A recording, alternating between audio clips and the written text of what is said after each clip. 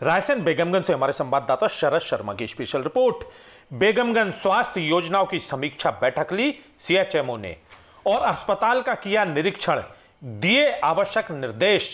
बेगमगंज, भारत सरकार की राष्ट्रीय स्वास्थ्य मिशन का शुभारंभ तेरह में किया गया था, जिसकी उप मिशन और रूप में राष्ट्रीय ग्रामीण स्वास्थ्य मिशन और शहरी स्वास्थ्य मिशन को शामिल किया गया। इस कार्यक्रम के मुख्य घटक में प्रजनन मात्र नवजात शिशु, बाल एवं किशोर अवस्था, स्वास्थ्य और संक्रमक, असंक्रमक रोगों को, ग्रामीण और शहरी क्षेत्रों को, स्वास्थ्य प्रणाली को मज़बूत बनाना है।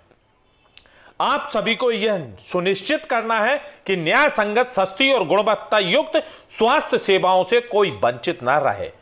लोगों के प्रति आपकी जवाबदेही तय हो, उक्त उद्गार जनपद पंचायत के सभागार में राष्ट्रीय स्वास्थ्य योजनाओं की समीक्षा बैठक में सीएचएमओ रायसन डॉक्टर दिनेश खत्री ने व्यक्त किए। एवं गंभीर, एवं गम, गर्भवती माताओं की जानकारी गर्भ अवस्था के दौरान मृत्यु होने वाले शिशु माताओं की जानकारी, शिशु मृत्यु दर, स्वास्थ्य शिशु जन्म के मृत्यु दर आदि की जानकारी ली। समीक्षा बैठक के बाद सीएचएमओ ने सिविल अस्पताल का निरीक्षण करते हुए उन्होंने dressing room, OT room, delivery कक्ष, जच्चा बच्चा, भर्ती कक्ष, मरीजों को भर्ती करने के रूम आदि का निरीक्षण किया। उन्होंने लैब में ले जाने वाली विभिन्न जांचें, एक्सरे रूम, टीकाकरण कक्ष, कोल्ड रूम आदि का भी निरीक्षण किया। उन्होंने अस्पताल में विशेष रूप से साफ़ सफ़ाई रखने के निर्देश दिए।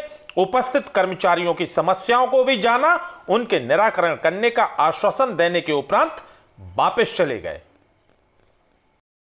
विदिशा से हमारे संवाददाता रवि चौरसिया की रिपोर्ट। महिला ने लगाया नायब तहसीलदार और उसके रीडर पर रिश्वत लेने का आरोप। प्रशासन मौन। पच्चीस हज़ार की रिश्वत के मामले में उलझी नायब तहसीलदार नियति। एसडीएम ने दिए जाँच के आदेश। गंज बासौदा नटरन क्षेत्र के नायब तहसीलदार नियति साहू और उनके रीडर पर हेमंत शिल्पकार और भूरीबाई पत्नी स्वर्गीय प्राण सिंह लोधी ने पच्चीस हज़ार रुपये की रिश्वत लेने का आरोप लगाया है। महिला का कहना है कि पति की मृत्यु होने के बाद पोथी नामांतरण के लिए आवेदन किया था लेकिन कई बार चक्कर लगाने के बाद काम नहीं हुआ। तब नायब तहसीलदार के रीडर ने काट रहा है मैडम किताब नहीं बना रहे पैसा मांग रहे और पैसा दे दो और पैसा दिए जब बनाएँगे कौन सी मैडम है? नियति साहब।